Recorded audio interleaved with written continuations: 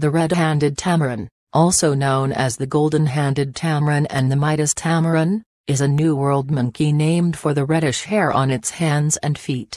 The red-handed tamarin is native to the moist woodland areas along the Amazon River in South America. The red-handed tamarin is found inhabiting the forest alongside the Amazon throughout Brazil, Guyana, French Guiana, Suriname, and Venezuela. Although once quite large, the natural territory of the red-handed tamarin has rapidly decreased today due to deforestation. The red-handed tamarin is an exceptional climber and spends most of its time among the vines and branches of the trees. Red-handed tamarins are quick and agile and are superb jumpers known to jump distances of over 60 feet, 18 meters, from a tree to the ground when needed. The red-handed tamarin is a diurnal primate which means that the red-handed tamarin is most active during the day and rests in the safety of the treetops during the night.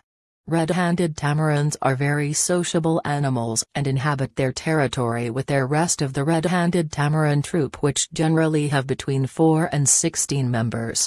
Red-handed tamarin troops are led by the eldest female and have predominantly male members. The red-handed tamarin is an omnivorous animal meaning that the red-handed tamarin hunts both plants and other animals in order to survive. Fruits Insects and green plants make up the majority of the red-handed tamarin's diet along with small rodents and reptiles, eggs and tree sap. Due to the relatively small size of the red-handed tamarin, it has a number of predators within its natural environment.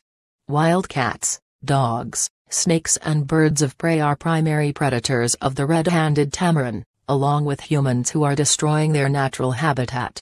The red-handed tamarin usually breeds between the months of April and July, when the female red-handed tamarin will give birth to twins, or a single infant, after a 4 to 5 month gestation period. The male red-handed tamarins carry and groom infants more than the females do, but females clean the infant more than the males do.